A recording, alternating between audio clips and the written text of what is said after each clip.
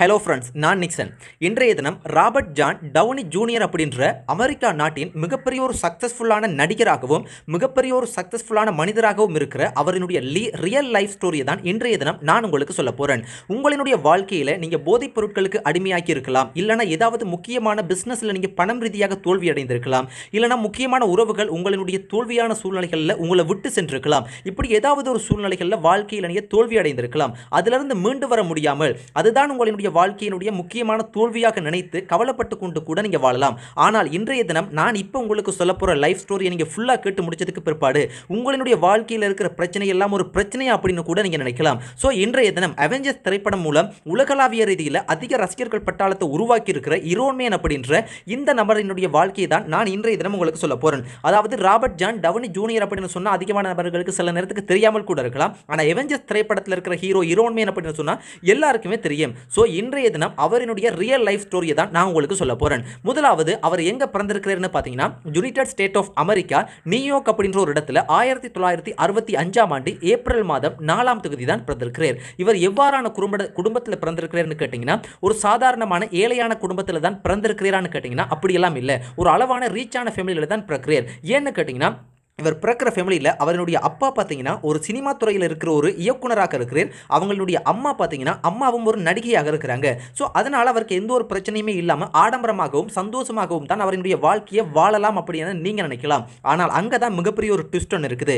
ஏன்னு கேட்டிங்கன்னா அந்த அளவுக்கு ஆடம்பரமாக வாழ்கிற சூழ்நிலைகள் இருந்தாலும் அவரினுடைய தந்தை மிகப்பெரிய போதைப் பொருட்களுக்கு அடிமையாக இருக்கிற ஒரு நபராக இருக்கிறனால இந்த மகன் அதாவது இந்த ராபர்ட் அப்படின்னு சொல்லப்படக்கூடிய இந்த மனிதர் அதாவது மிகப்பெரிய சக்ஸஸ்ஃபுல்லான மனிதராக இப்போ இருந்தாலும் அவரினுடைய அஞ்சாறு வயசு இருக்கக்குள்ளேயே மிகப்பெரிய போதைப் பொருட்களை பழக்கப்படுத்தி போதைகள் பாவிக்க வைக்கிறதுக்கு அவங்களுடைய தந்தை தான் முக்கியமான காரணமாகவும் தந்தை தான் அதை பழக்க விடி பழக்க விடுறார் அப்படின்றதையும் தெரிஞ்சுக்கொள்ளுங்க.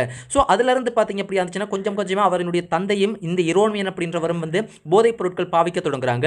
ஸோ அதிலிருந்து மீண்டு வர முடியாமல் கிட்டத்தட்ட பார்த்தீங்க அப்படி இருந்துச்சுன்னா சின்ன வயதிலேயே மிகவும் கஷ்டப்பட்டு தான் வளர தொடங்குறார். ஸோ இவங்களுக்கு கிட்டத்தட்ட பன்னெண்டு பதிமூணு வயது இருக்கக்குள்ள இரோன்மேனுடைய அப்பாவும் அம்மாவும் ஒரு சில கருத்து முரண்பாடு ஒரு சில அவங்களுடைய புரிந்துணர்வு இன்னும் ஒரு சில காரணங்கள்னால அவங்க விவாகரத்தாகி இரண்டு பேருமே பிரிகிறாங்க ஸோ ஆல்ரெடி போதைப் பொருட்கள் சின்ன வயதில் பாவிச்சு மிகவும் மனம் ரீதியாகவும் உடல் ரீதியாகவும் பலவீனமாக இருக்கிற இந்த இரோன்மேனுக்கு வந்து அடுத்த மிகவும் மோசமான சூழ்நிலை வந்து மோசமான சம்பவம் அவரினுடைய வாழ்க்கையில் நடக்க தொடங்குது. அதுதான் அவங்களோட அம்மாவும் அப்பாவும் பிரிஞ்சு போகிறாங்க ஸோ அதன் பிற்பாடு பார்த்தீங்கன்னா அப்பாவுடைய இரோன் இரோன்மேன் அப்படின்றவர் அப்பாவுடைய போக தொடங்குறாரு. ஸோ அப்பாவோட போனதுக்கு பிற்பாடு பார்த்தீங்கன்னா அவரினுடைய வாழ்க்கையில் வந்து பார்த்தீங்கன்னா போதைப் பொருட்கள் பாவிக்கிற வீதம் அதிகமாகவே தொடங்குது. ஏன்னா அவரினுடைய அப்பாவும் போதைப் பொருட்களுக்கு அடிமையாகினவர் அப்படின்ற காரணத்தினால. ஆனாலும் அவர் நிறைய திரைப்படங்கள் எடுக்கிறார். அந்த திரைப்படங்களில் பார்த்தீங்கன்னா இவரின் அதாவது மகனையும் இரோன்மேனையும் பார்த்தீங்கன்னா சின்ன சின்ன கேரக்டர்கள்லாம் நடிக்க வைக்கிறார். ஸோ இப்படி அந்த சினிமா துறையில் கொஞ்சம் கொஞ்சமாக வளர்ச்சி அடைந்து வர்ற இரோன்மேன் என்ன செய்யறேன்னா ஒரு ஒரு கேர்ள் ஒருத்தவங்களையும் காதலிச்சு திருமணமும் பண்ணி இப்படி திருமணம் பண்ணி அவரினுடைய சினிமா துறையில் கொஞ்சம் கொஞ்சம் வளர்ச்சி அடைந்தாலும் அவருக்கு இருக்கிற மிகப்பெரிய ஒரு தோல்வியான சூழ்நிலையை உருவாக்குறதுக்கு இல்லைனா மிகப்பெரிய மைனஸ் பாயிண்ட் எதுன்னு கேட்டிங்கன்னா அவரினுடைய போதைப் பொருட்களுக்கு அடிமையாகி இருக்கிறது. ஸோ என்ன நடக்குதுன்னு பார்த்தீங்கன்னா இப்படி அவர் திரைப்படங்கள் நடித்து கொஞ்சம் கொஞ்சம் டெவலப் ஆகினாலும் பெரிய அளவுக்கு டெவலப் கொஞ்சம் கொஞ்சம் டெவலப் ஆக தொடங்குகிறார். ஆனால் என்ன நடக்குதுன்னு பார்த்தீங்கன்னா சரியான டைமுக்கு அவருக்கு திரைப்படங்கள் நடிக்கிறதுக்கு ஸ்பொட்டுக்கு போக முடியல. அதே சமயத்தில் நடிக்கிற திரைப்படங்களை சரியாக நடித்து கொடுக்க முடியல.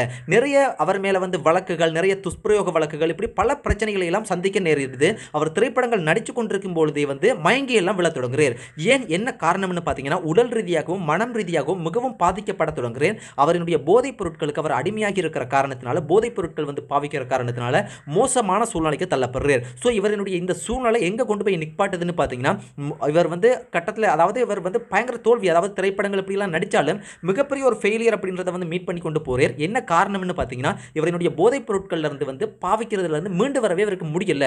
அந்த அளவுக்கு மோசமான சூழ்நிலைகளில் இருக்க தொடங்குறார். அதன் பிற்பாடு பார்த்தீங்கன்னா இவர் போதைப் பொருட்கள் அதாவது தடை செய்யப்பட்ட போதைப் பொருட்கள் பாவிக்கிறது வந்து போலீஸால் தெரிய வந்து இன்னும் ஒரு சில காரணங்கள்னாலையும் இவர் வந்து அரெஸ்ட் பண்ணப்படுறார். அரெஸ்ட் பண்ணப்பட்டு நீதிபதிக்கு முன்னுக்கு நிறுத்தப்படுறார். அப்போ நீதிபதி என்ன கேட்குறாங்கன்னு பார்த்தீங்கன்னா இவ்வளோ பெரிய எல்லா சூழ்நிலைகளும் உனக்கு நல்லாக இருந்தாலும் நீ ஏன் இந்த மாதிரி ஒரு போதைப் பொருட்களுக்கு அடிமையாகி இப்படி தவறான வழியை தெரிவு செய்கிற அப்படின்றது கேட்கறதுக்கு? ஏன் இதை விட்- இந்த வாழ்க்கையெல்லாம் விட்டுட்டு நீ சரியான முறையில் சந்தோஷமாக நீ வாழ முடியாதான்னு கேட்டதுக்கு இரோன்மேன் அப்படின்ற இந்த நபர் என்ன சொல்கிறேன்னு கேட்டிங்கன்னா என்னுடைய முகத்துக்கு முன்னாடி என்னுடைய வாயில் என்னுடைய துப்பாக்கியை வைத்து அந்த துப்பாக்கியில் என்னுடைய விரல் தான் சூட் பண்ணுறதுக்கு நானே பிடித்திருந்தால் கூட துப்பாக்கியை நான் சூட் பண்ணுவேன் ஏன் அப்படின்னா அந்த வழி வேதனை எனக்கு மிகவும் பிடித்திருக்கு அப்படின்னு சொல்கிறார் அது அவர் என்ன சொல்ல வர்றாருன்னு பார்த்தீங்கன்னா அந்த போதைப் பொருட்கள்லேருந்து அவர் போதை போதைப்பொருள் பாவிக்கிறதுல இருந்து அவரால் மீண்டு வர முடியல அப்படின்றத அவர் சொல்ல வர்றாரு. அதை தான் அதில் மென்ஷன் பண்ணுறாரு ஆனாலும் அதன் பிற்பாடு அவர் ஜெயிலில் தூக்கி போட்டப்படுறாங்க. ஜெயிலில் போட்டதுக்கு பிற்பாடு பார்த்தீங்கன்னா இவங்களுடைய வைஃப் வந்து இவங்களை விட்டு போகிறாங்க இவருடைய ஃப்ரெண்ட்ஸ்மார் விட்டு போகிறாங்க இவருடைய முக்கியமான உறவுகள் விட்டு போகிறாங்க இவருக்கு கிடைச்சிருக்கிற திரைப்படங்கள் எல்லாமே இல்லாமல் போகுது. இப்படி தோல்வி அப்படின்றது சக்ஸஸ்ஃபுல்லாக இருந்த அந்த இரோன்மியன் அப்படின்றவர் பார்த்தீங்கன்னா மிகப்பெரிய சரிவை நோக்கி கீழே வர தொடங்குறார். ஸோ இதன் பிற்பாடு பார்த்தீங்கன்னா இவர் வந்து மீண்டு வரவே முடியாது அப்படின்ற அளவுக்கு பல விமர்சனங்கள் பல கதைகள் பல மோசமான சவால்கள் மிகவும் மோசமான துன்பமான சூழ்நிலைகளை எல்லாம் கடந்து மறுபடியும் ஜெயிலிருந்து வெளியே வர்றார். வெளியே வரும்பொழுது தான் பார்த்தீங்க அப்படி இருந்துச்சுன்னா பார்ட் ஒன் பார்ட் டூ அப்படின்னு சொல்லப்படக்கூடிய மாதிரிக்கு இது மட்டும் இருந்த இரோன்மேன் வேணை வேற இதுக்கு பிற்பாடு இருக்க போகிற இரோன்மேன் வேறு அப்படின்ற மாதிரிக்கு ஒரு திரைப்படத்தில் நாயகன் மீண்டும் வரான் அப்படின்னு சொல்லக்கூடிய அளவுக்கு ரியல் லைஃப்பில் அவரனுடைய மாற்றத்தை கொண்டு வர்றார். ஸோ அதன் பிற்பாடு சின்ன சின்ன திரைப்படங்கள்லாம் நடிக்க தொடங்குறார். கொஞ்சம் கொஞ்சமாக அவரினுடைய வாழ்க்கை முறைகளை மாற்ற தொடங்குறார். போதைப் பொருட்கள்லேருந்து விடுபட தொடங்குறார். இப்படி அவரினுடைய வாழ்க்கையில் ஸ்டெப் ஸ்டெப்பாக அவரினுடைய தன்னம்பிக்கை யாருமே கை கொடுக்காத சூழ்நிலையிலையும் ஒரு சில நண்பர்கள் சப்போர்ட்டாக இருந்தாங்கன்னு சொல்லப்படுது. ஆனாலும் பெரிய அளவுக்கு யாருமே சப்போர்ட் இல்லை. அதன் பிற்பாடு பார்த்தீங்க அப்படியா இருந்துச்சுன்னா கொஞ்சம் கொஞ்சமாக டெவலப் ஆகி இந்த எவெஞ்சர்ஸ் அப்படின்னு சொல்லப்படக்கூடிய இந்த இரோன்மியன் அப்படின்னு சொல்லப்படக்கூடிய முக்கியமான திரைப்படம் ஒன்று இவரை வந்து நோக்கி வருது. ஸோ அந்த திரைப்படத்தில் பார்த்தீங்க அப்படியா இருந்துச்சுன்னா யாருமே எதிர்பார்க்காத அளவுக்கு ஒரு உலகத்தினுடைய மிகப்பெரிய அதிகமான சம்பளம் வாங்குற ஜாக்ஸ் ப்ரோ அப்படின்ற அளவுக்கு வந்து அவரோட கம்பேர் பண்ணி அவரோட ஒப்பிட்டு கதைக்கக்கூடிய அளவுக்கு எல்லா எல்லா நடிகரோடையும் ஒப்பிட்டு கதைக்கக்கூடிய அளவுக்கு மிகப்பெரிய ஒரு சக்ஸஸ்ஃபுல்லான ஒரு நபராக உருவெடுக்கிறார். ஸோ அதன் பிற்பாடு பார்த்தீங்கன்னா வந்து நான் வார்த்தையால் சும்மா இப்படி ஒரு நிமிஷம் ரெண்டு நிமிஷத்தில் சொன்னாலும் பல அர்ப்பணிப்புகள் பல சாக்ரிஃபைஸ் எல்லாம் தாண்டி அவருடைய திறமையினாலையும் அவருடைய தன்னம்பிக்கையினாலையும் அவருடைய முன்னேறணும் அப்படின்ற வேறு ஏதோ ஒரு நோக்கத்தினாலையும் பார்த்தீங்கன்னா அவருடைய வெற்றியை வந்து நிரூபிக்கிறார். ஸோ அதன் பிற்பாடு பார்த்தீங்கன்னா இரண்டாவது திருமணமும் பண்ணிக்கொள்கிறார். திருமணம் பண்ணி சக்ஸஸ்ஃபுல்லான வாழ்க்கையை இன்றைய தினம் வாழ்கிறார் ஆனால் நம்ம இதிலிருந்து கவனிக்க வேண்டியது என்னென்னு பார்த்தீங்கன்னா அவரனுடைய பிறக்கும் பொழுது பிறந்த சின்ன வயதிலேயே அவரனுடைய தந்தையை பார்த்தீங்கன்னா அவருக்கு போதைப் பொருட்கள் பாவிக்கிறதுக்கு முக்கியமான காரணமாக இருக்கிறார். அப்பாவும் அம்மாவும் கிட்டத்தட்ட அஞ்சாறு வயது ஒரு பதிமூணு வயது இருக்கக்குள்ள பார்த்தீங்கன்னா பிரிஞ்சு போகிறாங்க விவாகரத்தாகி அதன் பிற்பாடு போதைப் பொருட்கள் போதைப் பொருள் பாவிச்ச காரணத்தினாலேயே அவரனுடைய வாழ்க்கையும் சீரழிஞ்சு போகுது.